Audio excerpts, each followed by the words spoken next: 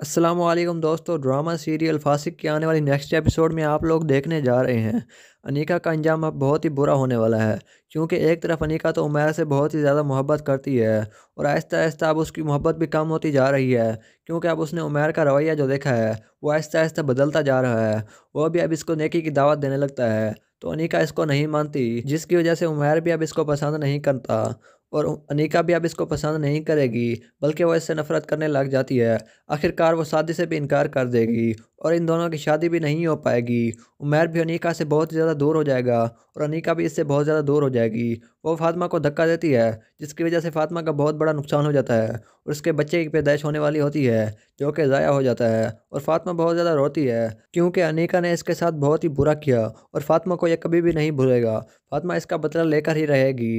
दोस्तों, अगर आपको यह वीडियो अच्छी लगे तो इस वीडियो को लाइक कर दें और अगर आप इस चैनल पर नए हैं तो इस चैनल को भी सब्सक्राइब कर दें। अल्लाह हाफिज़।